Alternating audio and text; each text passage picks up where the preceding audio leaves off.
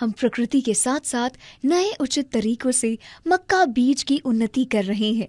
हर किसान के लिए हम लाए हैं एक नया रास्ता सफलता की ओर, जो है श्री अमृत सीड्स का बुलेट तेरह पचपन हाइब्रिड मक्का बीज, जो दे पर एकड़ छत्तीस हज़ार पौधे, सौ प्रतिशत जर्मिनेशन पौधे की हाइट 10 फीट प्रति पेड़ में एक समान लंबे बूटा, प्रति बुट्टे में 14 से 16 रोज, साथ ही दाने की हाइट 48 से त्रिवंजा नंबर पतली बालरी भुट्टे आकर्षक और नारंगी, पर भीगा 16 से 19 क्विंटल। श्री अमृत सीड्स का बुलेट तेरह पचपन हाइब्रिड मक्का है। हर किसान की समृद्धि का नया राज। बुलेट तेरह पचपन हाइब्रिड मक्का बीज के साथ अपने खेत को बनाइए।